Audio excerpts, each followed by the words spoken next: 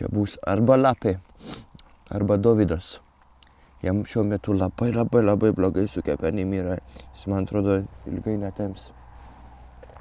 Gali nesislėpti, aš tave matau. Aslan, Taip. ateik aš tau parodysiu vietą, kur dar nesi buvęs. Vieta, kur dar nesu buvęs. Gerai, me. Ne, O kas toje vietoje bus? pamatysi. Mm. Aš tikiuosi, tenais bus eriukas. Aš labai dabar norėčiau eriukas. O, la, la. Prašau. O tu taisi, aš, aš čia nesu buvęs gyvenime. Palauk, Aslanai, tu dar nematai tos vietos. Aslan, Aslan.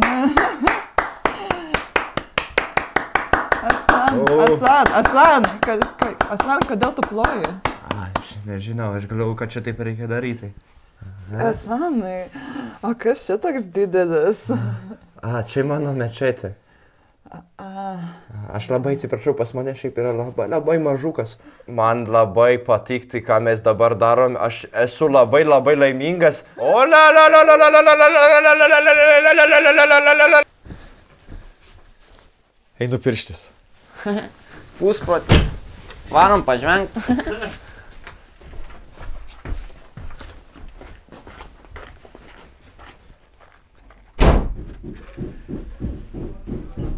Klausyk, džumbrasas, nesipyr. Pamatysi, sutiks. Nesipyr. Pamatysi, sutiks. Nesidaryk gėdo.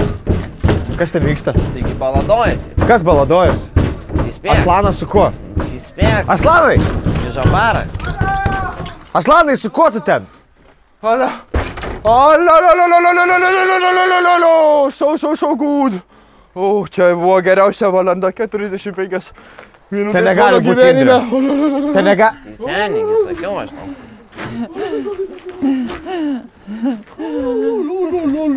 Oi, la, la, la, la, la, la. Nu, tai sakiaugi.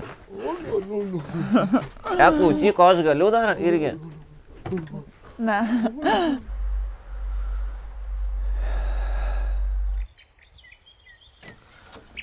Labą dieną, labą dieną. O, wow, wow, Viktoras, Viktoras, greitai, kas atsitiko, kas buvo?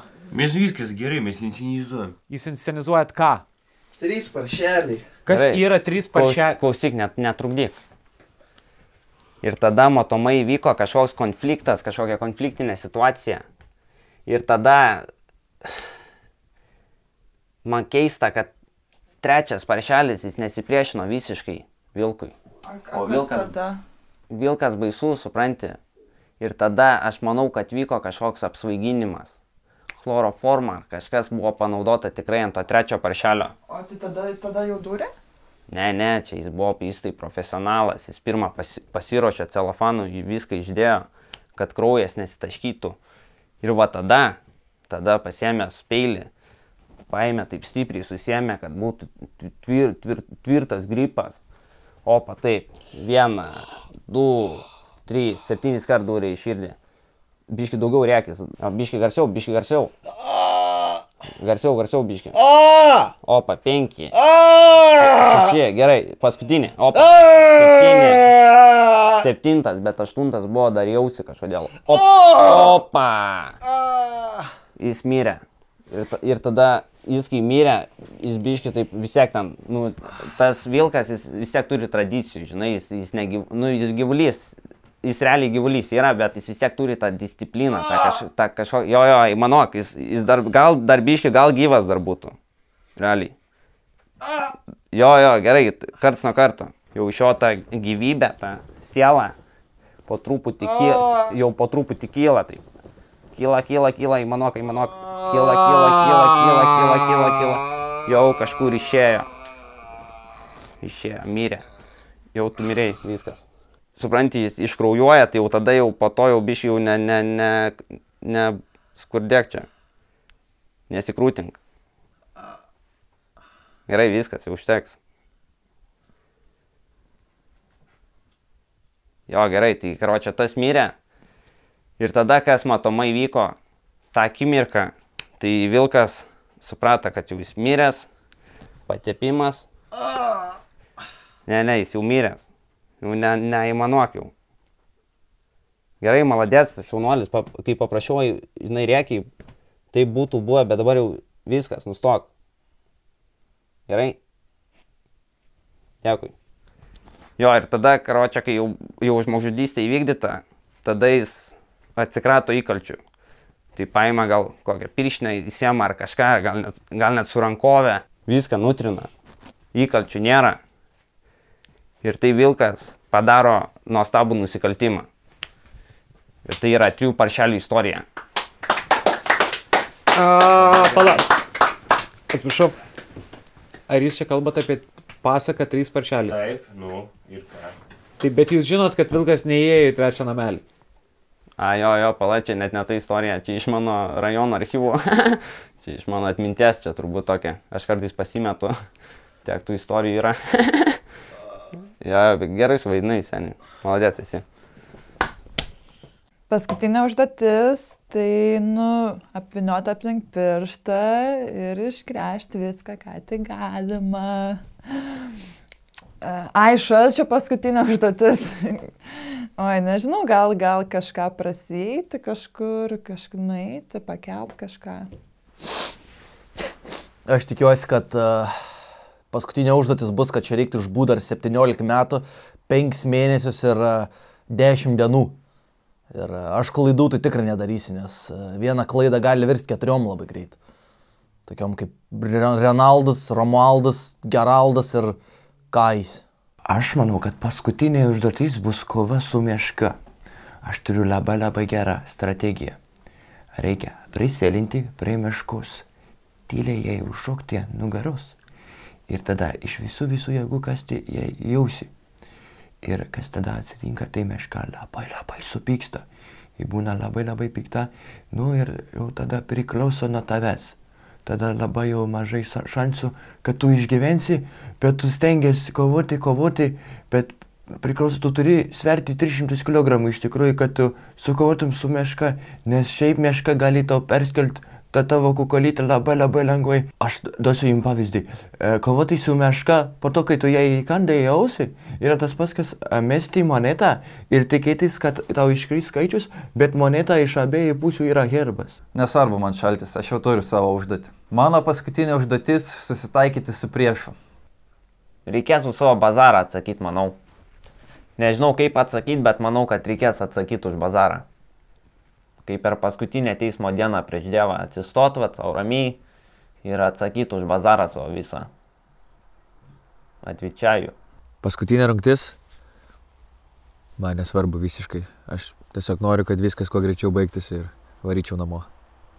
Yra dar vienas būdas, toks kazakstanietiškas būdas kovoti su meška. Praeini, pavagi mažą meškiuką. Ir tada jinai labai labai supyks, aišku, priklauso, ar myli tą meškiuką. Nes jeigu labai myli, tai jau viskas, jau tada nebėra šansų. Jinai pasims tavo kukolytą, atidarys, atsigers iš tavęs biški e, tavo dantų visų, jinai pasims smegenys tavo suvalgys, jinai išsitrins, kaip su kempinė, kaip su kempinė, jinai išsitrins, pasimaudys tavim. Dar jinai, pad, jinai tikrai nepadėkos dėl to, kad tu pavogė iš jos meškiuką. Aš jums duosiu dar vieną analogiją.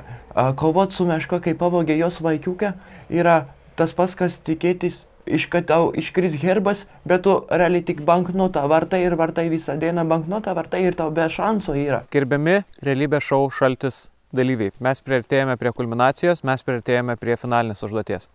Šį kartą tai bus balsavimas, tik skirtingai negu karštyje, balsuos ne žiūrovai, o balsuosite jūs. Atėję į namelį, anonimiškai prabalsuojate, tai yra užrašote ant lapelio vardą žmogaus, už kurį balsuojate. Tada lapelį parodote į kamerą, galit komentuoti, galit nekomentuoti. Ir grįžtate pas mus. Balsavimas, primenu, yra anoniminis, o vakare pažiūrėsim, kas už ką balsavo. Taigi, aš keliauju, padedu kamerą ir esvizas jūsų lauks balsavime. Viskas tvarkoja? Laimi, žinok, tikrai galiu už, už ką nori balsuoti, bet aš tikrai tau atiduosiu savo balsą. Nereikia man tavo balso, aš nežinau, man nelabai svarbu jau yra laimėti. Aš tau tikrai duosiu savo balsą ir e, mhm. gerai, aš ką noriu, žinai, balsuot, bet... Na, aš pagalvosiu. Okay. Aš pagalvosiu Pagalvo. dar už ką. Pagalvosiu, bet aš tau duodu savo. Ačiū.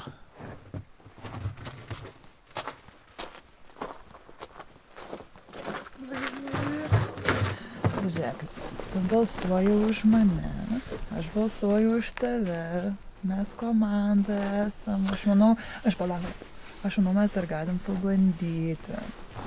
Dovydai. Nežinau, aš tau, aš tau noriu pasakyti. Aš žinau, aš nenoriu čia nais išvažiuoti. Aš noriu čia kiek įmanoma ilgiau būti. A, Žinau, čia daug kas galvoja, o, čia, nai, žinai, tobulą gyvenimą gyvent, žinai, jam čia sunku buvo viską palikti, žinai, tenais.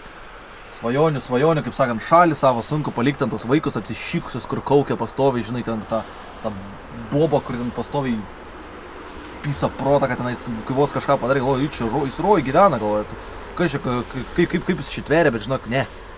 Man, žinok, nepatinka tenais, vat. Man nepatinka namie. Aš viską padarysiu, kad čia tik kuo ilgiau užbūčiau. Pasilikčiau. Gerai, gerai, aš. O tu už mane balsuosi? Gerai, berniukas, aš labai ilgai su tavim nekalbėsiu, aš tau pasakysiu tiek. Aš žinau, aš tą tavo merginą visai žygi, žygi dariau, visai drat jau iš visų galių, jinai šaukė, šaukė, šaukė. E, suprantu, aš tave vadinau visokiausiais vardais. Ir lopeliu, ir lokeliu, ir dauneliu. Visai vadinau. Bet aš tau pasakysiu tiek. Pabalsuok už mane. Labai prašau, aš pabalsuosiu už tave. Da. Aš pagalvosiu. Bet prižadėk man dabar savo motinos gyvybę, labai prašau, prižadėk dabar. Ne, aš nežadėsiu tikrai motiną. ne, ne, dabar prižadėk, labai Ne, aš labai motiną savo myliu, tikrai nežadėsiu. Klausyk, liūdai. Arūnai? Man tu patinka, kai žmogus, kaip patsanas, supranti, kai... Kai... Kai... Ročia. Viskas gerai su tavim. Ir ko aš noriu iš tavęs, tai aš už tave matyt, gal, gal matyt balsuosiu už tave. Aš. Bet Aha. man reikia kažko iš tavęs atgal. Žinai, man nėra taip, kad aš už nieką duosiu kažką. Aš kur man žinot, kad tu balsuosi už mane. Ročia, patilėk dabar. Ko aš noriu iš tavęs, tai tavo balso. Ir tu, jeigu man to balso neduosi, tai tau nebus labai piragai, žinai, to tu nevalgysi. Aha. Žinai, tau vakarėlio ne, ne, ne, nesuplanuosiu. Aha. Supranti, nebus ant dovanų, kai, žinai, dovanų nenupirksiu tau gaisrinės automobiliuko, žinai, kokio nežaisti ten. Supratau? Ant kilimo nežaisti. Supratau. Gerai, aš pagalvosiu. Gerai, Aš pagalvosiu. gerai, ko čia žiūrėk savęs. Taigi, balsavimą galim pradėti, kamera jūsų viduje jau laukia. Tai kas nori pradėti? Kol kas nėra preferencijų. Gerai, tuomet man tai pradėk